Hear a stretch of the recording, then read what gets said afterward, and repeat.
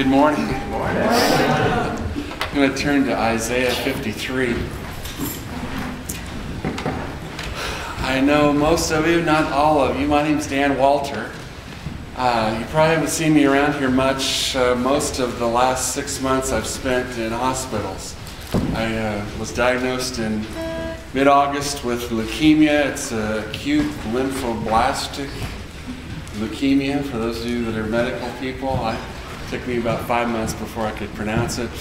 and uh, so uh, I spent quite a bit of time in uh, KU Med in Kansas City with all those Jayhawks. Oh, man. but uh, some very, very nice people. And uh, they treated me wonderfully. I've gone through six rounds of chemotherapy. The chemotherapy uh, for me with this type of cancer is uh, basically um, an IV drip, and so uh, my body has actually responded quite well. Mm-hmm. Uh, I guess when, we, when I get to heaven, I'll know how much of that is uh, your prayers mm-hmm. that work for that. I did, uh, I died September 13th. That was a little awkward, but my heart stopped. But I was in the hospital in my I say the hotel room. I was in my hospital room, and uh, there was a nurse right there, and she started compression, and my heart stopped, and, and called for help. And there were two other nurses that helped, and uh, happened to be two floors down from ICU and intensive care unit, so they took me up there, and I spent about a week and a half in ICU, and they seemed to think that I was going to live and, and uh, put me back in the other part. And then I spent a week in rehab. And again, I it was almost kind of a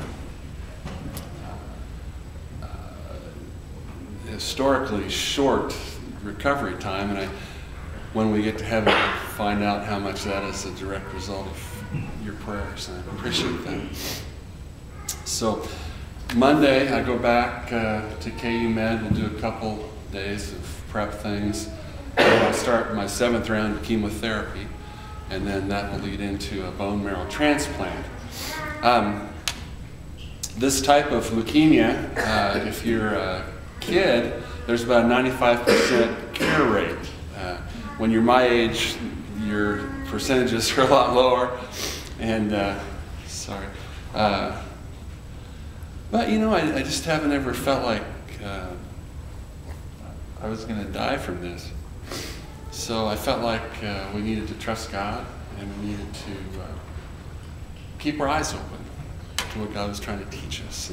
And, and I, I, I, may die from it. I don't, I don't know. I'm going to die sometime. So are you. But, uh, you know, those things happen. But I probably uh, won't be back in Manhattan until around May or so.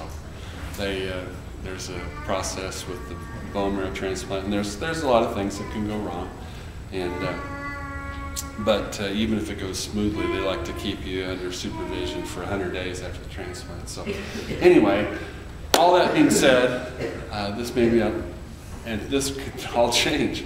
But this may be my last chance to see you face to face and my last chance to share something with you. And I thought, what would I want to leave with you that would be significant?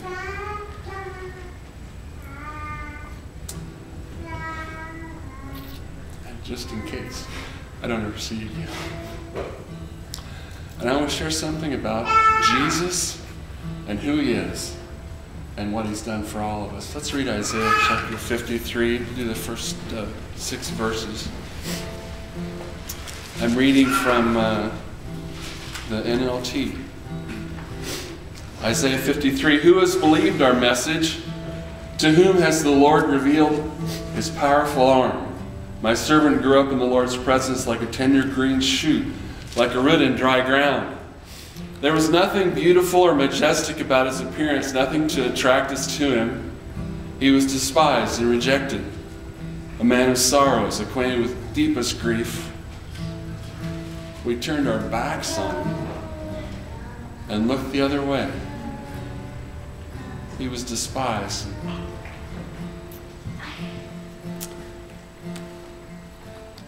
We did not care. Yet it was our weaknesses he carried, it was our sorrows that weighed him down. And we thought his troubles were a punishment from God, a punishment for his own sins. But he was pierced for our rebellion, crushed for our sins. He was beaten so that we could be whole. He was whipped so we could be healed. All of us, like sheep, have strayed away. We have left God's paths to follow our own. Yet the Lord laid on him the sins of us all.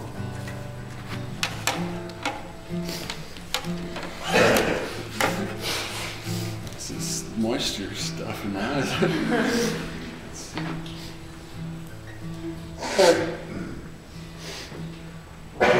I don't know if you're like me. I, I would like to think that if Jesus walked in the doors this morning, that I would greet him warmly, recognize him, and invite him to a place of honor here. But uh,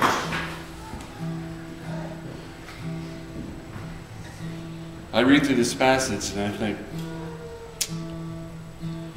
there's nothing beautiful about it, nothing majestic. There's nothing to attract us to him.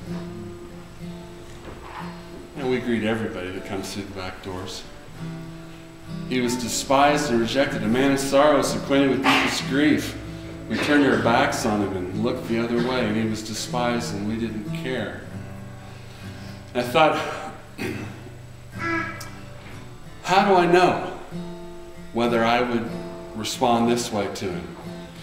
Well, a good uh, a good measure is how do I respond to people that I can see that fit these qualifications. Now, when I was uh, in school back around the Civil War, we had people that we called nerds. And nerds meant something different back then. It was, it was uh, somebody that was uh, not thought of well. Now, 40 years later, fast forward, and all those nerds, they're all multimillionaires out of Silicon Valley, you know, because they understood computers, but they didn't have any social skills. But they, they learned social skills. So, but there are people that aren't valued highly in our culture, in our society. And there are people that you look at them and you don't think, there's nothing to attract you to them. And I think that's probably a good measure of how we would have responded to Jesus. How do we respond to people in our world that we work with, that we come in contact with at Walmart?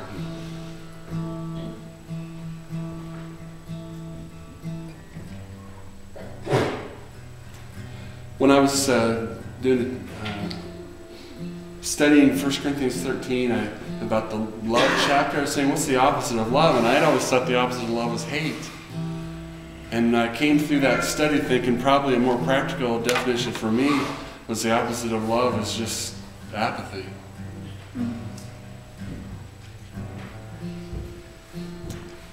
He was despised and, and we didn't even care. I went back through this morning about uh, seven people that God brought into my life specifically that had the love and the courage to share the gospel with me different times from junior high through high school through college. And, and every one of them, I said, no, thank you. This isn't of interest to me. I, I don't really care about Jesus and what he did for me. And then the time was right. And I heard a man share how Jesus had died on the cross for my sins and gave me the opportunity to receive forgiveness and eternal life in him. Said yes.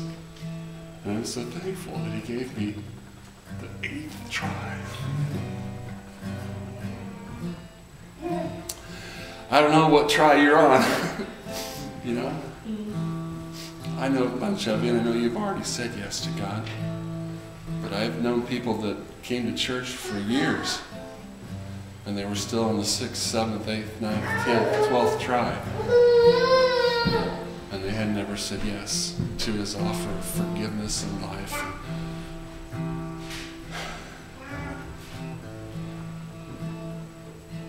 If that's you, I hope that today is that last, that last one when you say yes. I've heard it before, but today is the day I want to receive Jesus Christ into my heart and life and then walk out of here with a new man and a new woman, forgiven of all my sins. Sorry, I'm digressing, but it's important. In this passage, it says, uh, We thought his troubles were punishment from God, a punishment for his own sins. Can you imagine you and I standing at the cross and saying, He deserved it? What a loser. No, we, would, we wouldn't, couldn't possibly ever do that. But I'll tell you what, we do it to other people. We see somebody that's struggling with something. Difficulties, financial relationships, and say, well, that's probably what they deserve for what they've done. And that's bad, but we do it to ourselves too. So this is punishment for my sins. I told somebody early on, I said, I, have never really, with leukemia, I've never really struggled with this being a punishment for my sins because uh, my thought is if God wanted to punish me for my sins, I would be at KU morgue instead of KU hospital. because, I mean, oh my, oh my. If God wanted to let down the hammer, I mean, I'm done. I'm toast. I'm done. I'm gone. There's just no. So I really struggled with that one.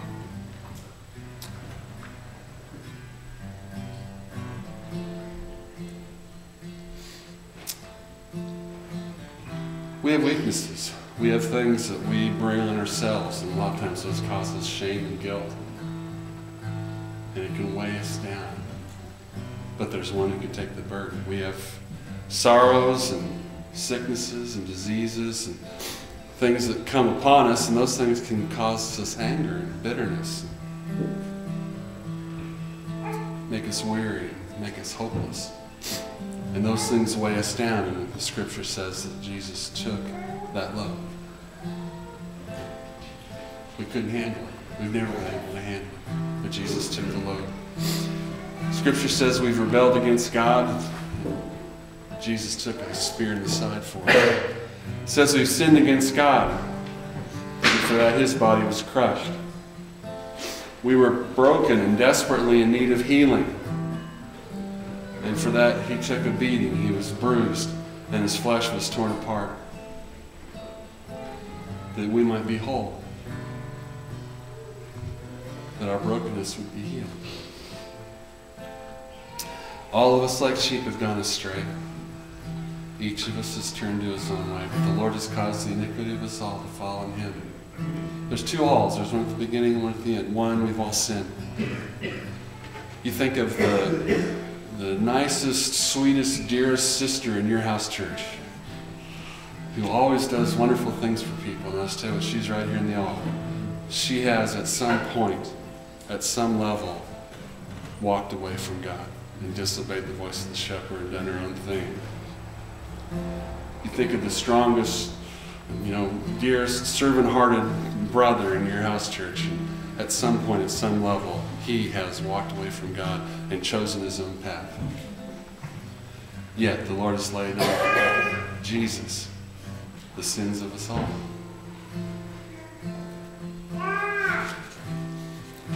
It's probably more than I wanted to share, plan on sharing. There you go. So if I don't see you for four or five months, you something to remember me by. Isaiah 53. What did Jesus do for you? What did Jesus do for you? Let's pray. Heavenly Father, thank you for this morning. What can I do but say thank you for all you've done for us? I take the cup of salvation and call upon the name of the Lord. Lord, we do bless you. We do thank you and we praise you in Jesus' name. Amen.